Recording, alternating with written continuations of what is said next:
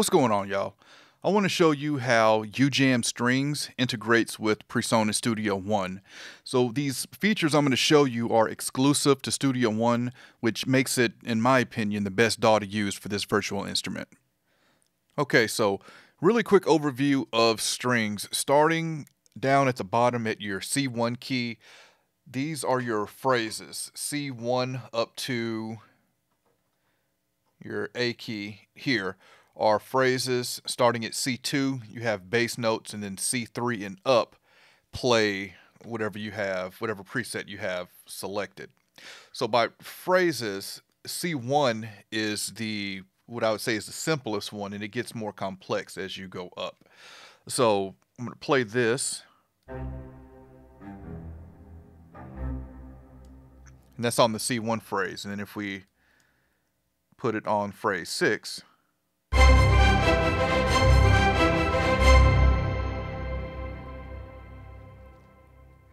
you get the same thing, just a lot more complex. Your black keys up at the top add additional notes, so those that sound like this. Let me turn on latch for that. Actually, let's go to a lower phrase. Okay, so these are your additions.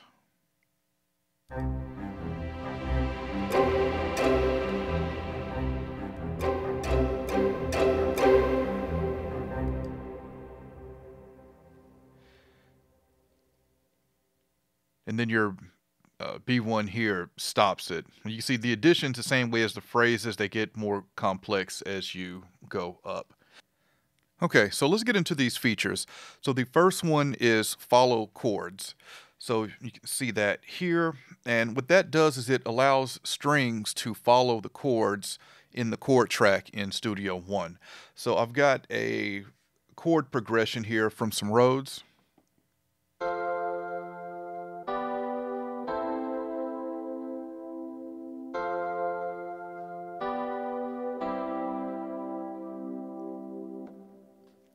And what I've played with strings right now sounds like this.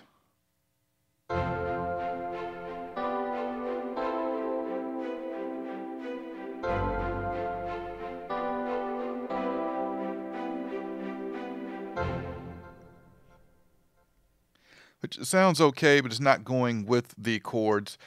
So turn this follow chords on, and now strings will follow the chord track.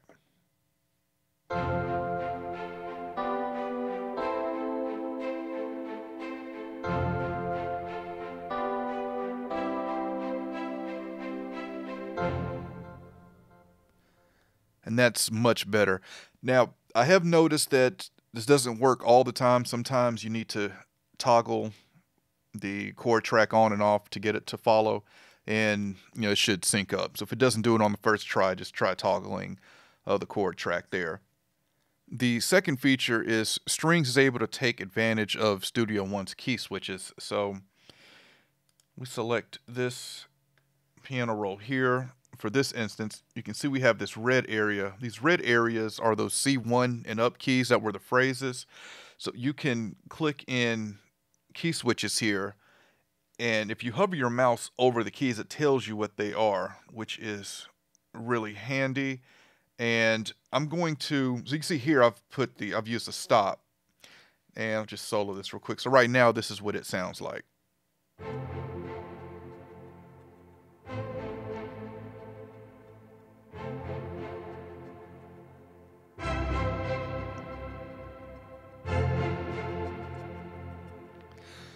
So I've got a key switch here for phrase six on the very last one, but as it plays that one and then loops, now it's going to play all of them in phrase six, and I don't want that.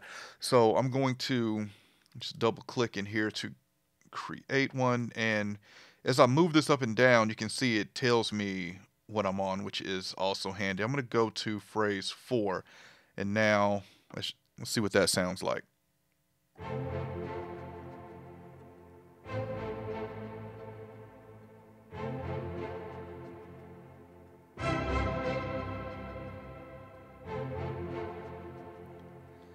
And that's what I want. Phrase four for the first three, and then phrase six on the last one.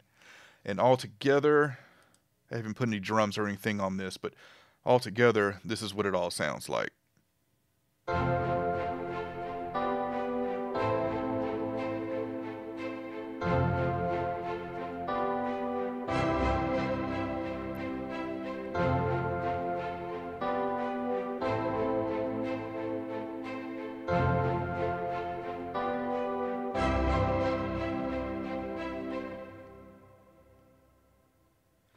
So there's a quick look at UJAM Striiings integration with Studio One. It's a really cool virtual instrument here, especially if you're into those orchestral sounds and you can get everything from big movie score, sound design, strings and orchestras in this down to stuff that you can use for hip hop, pop tracks.